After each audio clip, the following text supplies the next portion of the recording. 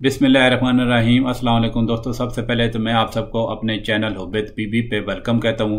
मेरी आज की जो वीडियो है वो ओलिको हाइड्रेमनियस के मतलब है। बेसिकली ये कंडीशन तब होती है कि जब जो है ना जब माँ के पेट में जब बच्चा डेवलप हो रहा होता है तो ये यूट्रस यानी जिसको बच्चा दानी कहते हैं उसमें जो है ना एक वो, वो मतलब जो है बच्चे के इर्द गिर्द जो है ना एमनियोटिक फ्लूड होता है। जो बच्चे को एक तरह का क्वेश्चन प्रोवाइड करता है और उसको प्रोटेक्ट करता है और जो है ना, बच्चे की डेवलपमेंट में मददगार साबित होता है।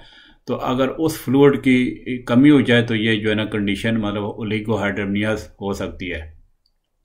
इससे पहले मैंने इसके बारे में एक शॉर्ट वीडियो अपलोड की थी, इसी चैनल पे उम्मीद है आपने देख ली होगी। आज मैं इसके बारे में तफसील से बात करूँगा। तो इसमें यह होता है कि पहले तो मैं आपको जो है ना इस जो बीमारी की जो है ना सिम्टम बता देता हूँ। मतलब जो है ना कि माँ क्या चीज़ नोटिस करती है आमतौर पे?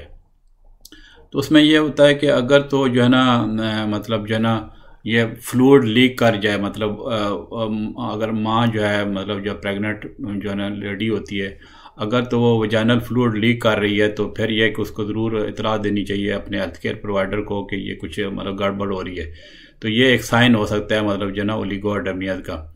इसके अलावा जो है ना लेट से कि बच्चे को मतलब जो जो जो प्रेगनेंसी का जो पीरियड चल रहा है, उस हिसाब से अगर बच्चे की ग्रोथ नहीं हो रही है, ठीक है? यानी स्लो ग्रोथ है तो ये और ये मतलब जो है माँ को जो जितना वेट गेन करना चाहिए उसके हिसाब से वो नहीं हो रहा तो फिर भी एक ये कंसर्न की बात है कि शायद ओलीगो ओलिगो की प्रॉब्लम हो। तो फिर यह कि जब आपका जो जो भी आपका हेल्थ केयर प्रोवाइडर है जो डॉक्टर जो आपका वो अल्ट्रासाउंड वो करेगा तो उसके जो है ना, वो अमनियाटिक फ्लूड जो है ना उसकी मेज़रमेंट होती है, ठीक है? तो अगर उसकी मेज़रमेंट में वो अमनियोटिक फ्लूड की कमी हो जाए तो ये भी दायर है फिर उसमें वो एक तरह का डायग्नोज हो जाएगा। तो उसमें दो तरीके हैं जो है ना अमनियोटिक फ्लूड को मेजर करने के। जो है ना, इसको कहते हैं कि एक amniotic fluid index F I और दूसरा, दूसरे को कहते हैं maximum vertical pocket M P V ठीक है? तो जो एफ़ आई होता है ना, उसमें यह होता है कि जो एमनोटिक फ्लूड को चार, जो एक डीप एरियाज़ में मतलब वो चेक किया जाता है, ठीक है? तो फिर जब उनके जो मतलब जो यूट्रस के चार एरियाज़ में चेक किया जाता है तो उसकी जो जो है ना फिर वो मतलब जो चारों एरियाज़ का चेक करके उसकी जो सम होती है मतलब वो ऐड ऐड किया जाता है। तो अगर अगर तो एमनियोटिक फ्लूड इंडेक्स मतलब जो है पाँच सेंटीमीटर से कम है, ठीक है? तो फिर यह कि आपको ये मतलब एक तरह का डायग्नोसिस हो हो सकता है लिगोहाइड्रमियस का। तो ये तो मतलब ए एफ़ आई मतलब मिनाटिक फ्लूड इंडेक्स का एक तरीका हो गया। दूसरा तरीका ये है कि एम पी वी जो मैंने अभी ज़िक्र किया है एम पी जो है ना, उसमें जो यूट्रस की जो ना, जो फ्लूड की पॉकेट्स में मतलब डीपेस्ट एरिया चेक करता है, ठीक है? तो अगर तो जो एम पी वी जो है ना, दो सेंटीमीटर से कम है तो फिर भी ये ओलिगो का डायग्नोसिस हो जाता है, ठीक है? और फिर इसके मतलब ये मैं बता, बताना चाहता हूँ कि इसमें जो है ना जब ओलिगोहाइड्रमिया जो है ना जब हो जाए तो क्या प्रॉब्लम या कॉम्प्लिकेशंस हो सकती हैं? तो अगर तो जो ओलिगोहाइड्रमिया है अगर तो पहले दो ट्राइमेस्टर मतलब जो है ना पहले जो छः महीने होते हैं प्रेगनेंसी के ठीक है? तो अगर उस दौरान हो जाए तो फिर यह कि ज़्यादा सीरियस प्रॉब्लम हो सकती हैं। ठीक है? लेकिन अगर आखिरी मतलब जो जो मतलब ट्राइमेस्टर है मतलब मतलब सातवां, आठवां नवा महीना जो मतलब लास्ट के तीन मंथ हैं, अगर उसमें ये प्रॉब्लम हो जाए तो फिर यह ना कि सीरियस प्रॉब्लम सीरियस कॉम्प्लिकेशन के चांसेस कम होते हैं, ठीक है?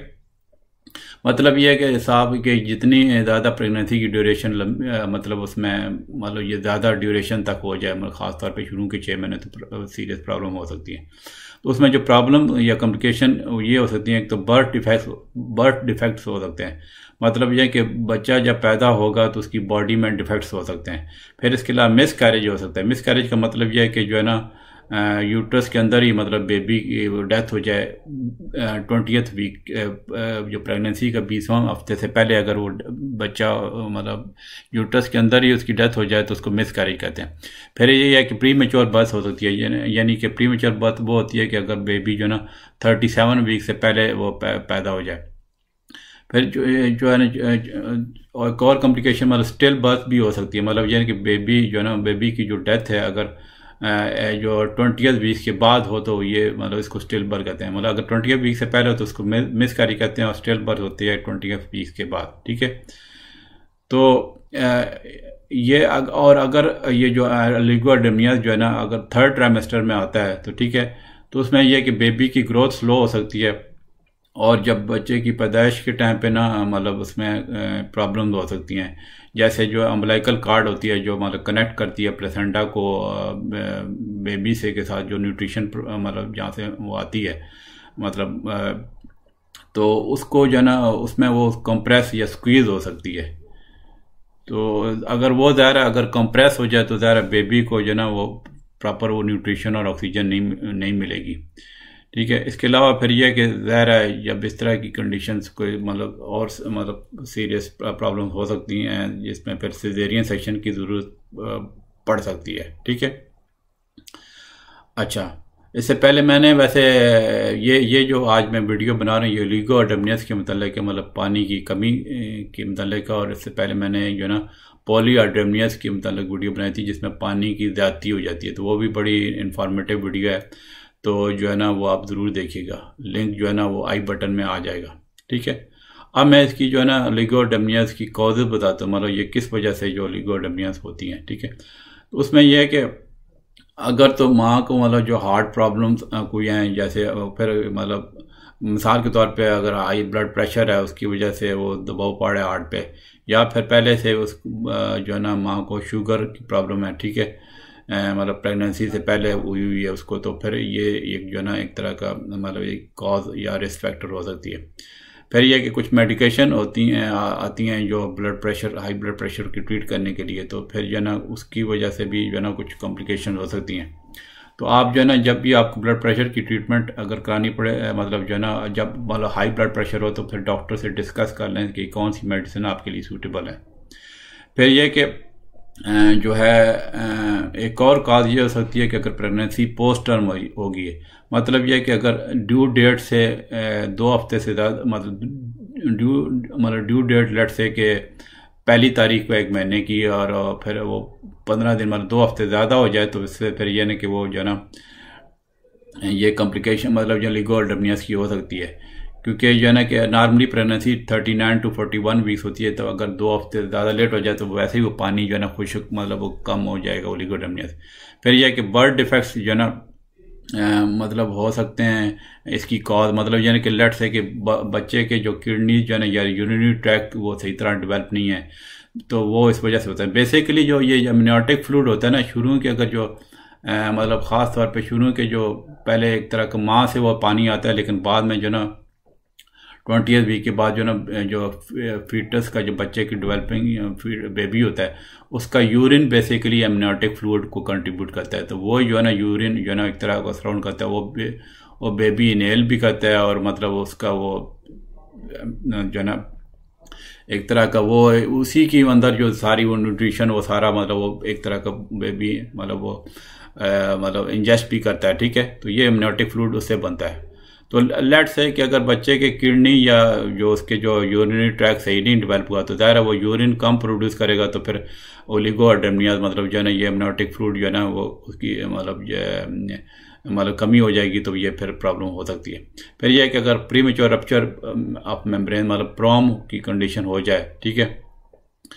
मतलब यह कि जो एमनियोटिक सैक होता है, जिसके अंदर एमनियोटिक फ्रूट होता है तो वो जो है ना लेबर से पहले मतलब मतलब जिसको मतलब कहते हैं कि वो थर्टी सेवन वीक के बाद अगर स्टार्ट हो जाए, लेकिन जो डिलीवरी लेबर से पहले मतलब अगर मतलब न्योटिक साइड बेसिकली अगर थर्टी सेवन वीक के बाद रप्चर हो, लेकिन यह कि डिलीवरी होने से पहले तो ये है कि इसको premature rupture of membrane कहते हैं तो ये भी कंडीशन जो है कंट्रीब्यूट कर सकती है ओलिगोडमनियाज की। अब मैं इसकी, मैं आपको ट्रीटमेंट बताता हूँ, ठीक है?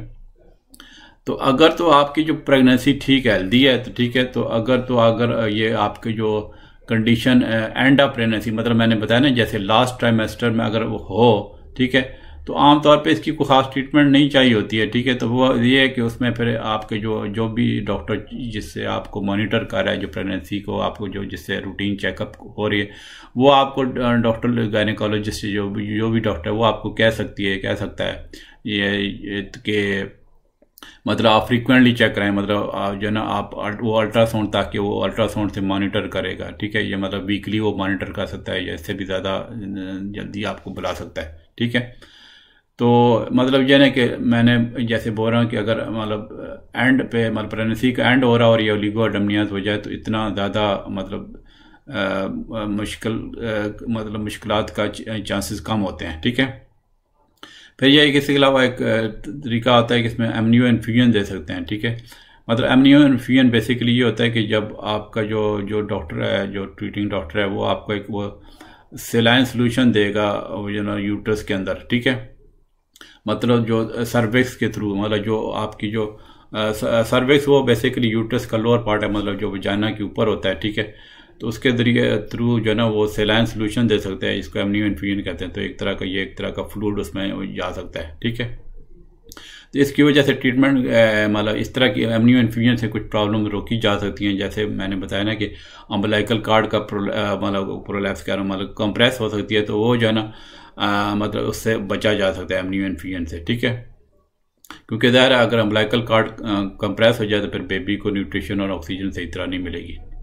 और अगर तो फ्लूड जो है ना, आपका जो है ना वो मतलब जमनाटिक फ्लूड बहुत ज़्यादा कम हो गया तो फिर यह कि वो आपका डॉक्टर ये भी रिकमेंड कर सकता है कि वो अर्ली लेबर स्टार्ट कर देगा मतलब वो डिलीवरी जो है ना, उसको मतलब जो है ना, अर्ली डिलीवरी का स्टार्ट का कह सकता है। ठीक है?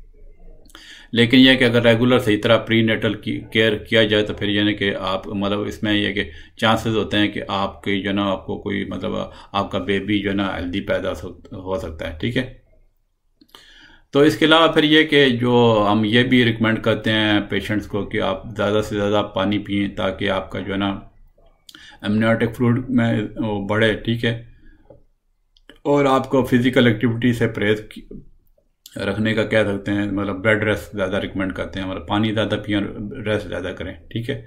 तो ये जनाब इसकी एक तरह की वो ट्रीटमेंट होगी, ठीक है? मतलब बेसिकली ये मैंने सारी वीडियो मैं ये, इसका लोबे लबाव ये कि बेसिकली आपका जो हेल्थ केयर प्रोवाइडर है, वो आपकी कंडीशन पर वो मॉनिटर करेगा। अगर तो लेट से कि अर्ली प्रेगनेंसी में मतलब मैंने बताया, पहले दो टाइमिस्टर में ये अनफॉर्चुनेटली हो जाए तो फिर बहुत ज़्यादा रिस्क होता है। लेकिन अगर आखिरी तीन महीनों में हो जाए तो फिर रिस्क बहुत मतलब कम हो जाता है। उसको अच्छी तरीके से अगर मॉनिटर करें तो बेबी नॉर्मल डिलीवरी हो सकता है। तो ये बेसिकली जो लिगोडमनियाज है ना, ये फोर परसेंट प्रेगनेंट लेडीज़ में होता है। मतलब सौ में से चार केसेस होते हैं, ठीक है। लेकिन यह कि अगर तो जो है ना मतलब ये आमतौर पे मैंने बताया ना कि आखिरी तीन महीनों में ज़्यादा प्रॉब्लम ज़्यादा चांसेस हैं उसके होते हैं, ठीक है? प्रॉब्लम तो मतलब मैं प्रॉब्लम प्रॉब्लम तब होती है जब जो है ना, अगर शुरू के छः महीने प्रेगनेंसी में ज़्यादा हो, लेकिन मतलब ज़्यादातर केसेस में ये होती नहीं है और ये कंडीशन जो है ना आखिरी तीन महीने में होती है तो आखिरी तीन महीनों में अगर हो तो फिर जो है ना प्रॉब्लम्स के चांसेस कम होते हैं, ठीक है? लेकिन यह कि अगर अगर आपकी प्रेगनेंसी प्रोलॉन्ग हो जाए मतलब दो हफ़्ते मतलब ड्यू डेट से दो हफ़्ते जो है ना ज़्यादा हो जाए, ठीक है तो फिर यह कि आमतौर पर बारह परसेंट खुवान को ये प्रॉब्लम हो सकती है। क्योंकि ज़ाहिर है जब ज़्यादा वो ड्यूरेशन प्रोलॉन्ग हो जाएगी तो फिर जो है ना, वो वैसे ही मनियाटिक फ्रूट की कमी हो सकती है। तो ये थी मेरी वीडियो जनाब इसके लीगो और डमनियाज के बारे में। उम्मीद है आपको ये वीडियो पसंद आई होगी। अगर आपके आपके ध्यान में कोई सवाल हैं इस बारे में तो ज़रूर कमेंट्स में पोस्ट कीजिएगा। तो चलें, इंशाल्लाह मिलते हैं अगली वीडियो में। ओके जी, अल्लाह हाफिज़।